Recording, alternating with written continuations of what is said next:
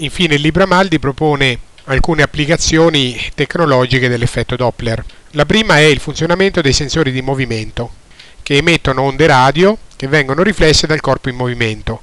Se la persona si avvicina al sensore, l'onda riflessa ha una frequenza maggiore dell'onda incidente, come si vede anche dal disegno perché la lunghezza d'onda dell'onda incidente è più lunga, invece la lunghezza d'onda dell'onda eh, riflessa dalla persona, proprio perché la persona si muove verso il sensore, questa lunghezza d'onda è più corta.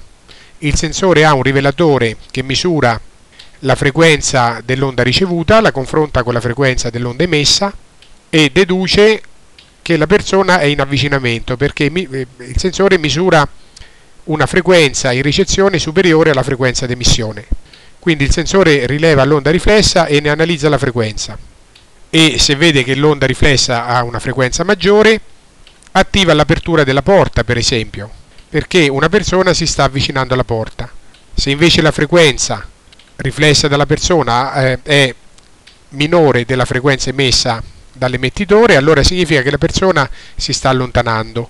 E quindi il sensore di movimento non, eh, non comanda alla porta di aprirsi se misura una frequenza eh, ricevuta uguale a quella emessa vuol dire che la persona sta ferma e di nuovo non fa aprire la porta.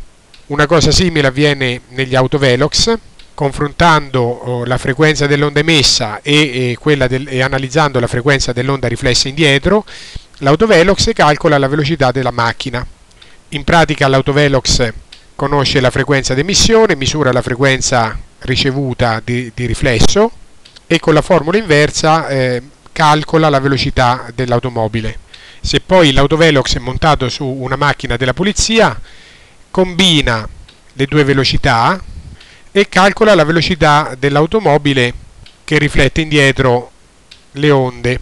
In questo caso la formula da utilizzare è questa, cioè la formula che combina entrambi i casi, perché sono in movimento sia la macchina della polizia che la macchina di cui va controllata la velocità.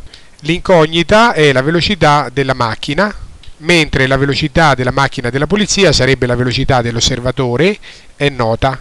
Come anche sono note la frequenza emessa e la frequenza ricevuta dall'autovelox e naturalmente la velocità del suono in aria. Infine il Libramaldi eh, riporta anche la tecnologia dell'eco Doppler che permette di misurare la velocità del sangue nelle vene e nelle arterie.